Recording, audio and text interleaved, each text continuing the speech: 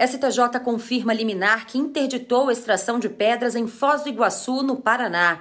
O presidente do Superior Tribunal de Justiça, ministro Humberto Martins, indeferiu o pedido de suspensão de liminar de uma empresa de mineração e manteve a interdição das atividades de extração de pedras em Foz do Iguaçu, no oeste do Paraná.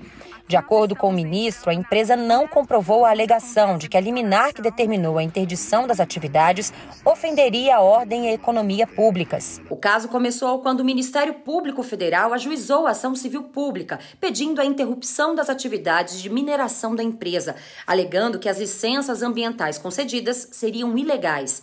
A primeira vara da Justiça Federal em Foz do Iguaçu concedeu a liminar para suspender a extração de pedras pelo risco de acidentes decorrente do uso de explosivos e na demonstração suficiente de indícios de irregularidades nas licenças.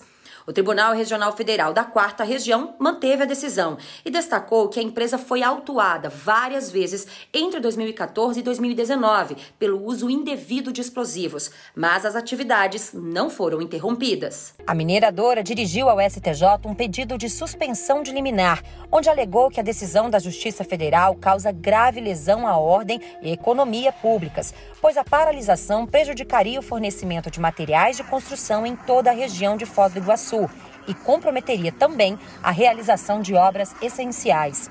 Ao justificar o indeferimento da suspensão, o ministro Humberto Martins avaliou que a empresa apresentou apenas alegações genéricas quanto aos supostos prejuízos para a população.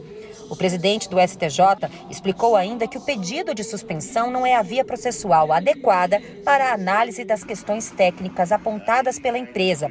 E esses argumentos devem ser discutidos no processo original que tramita na Justiça Federal.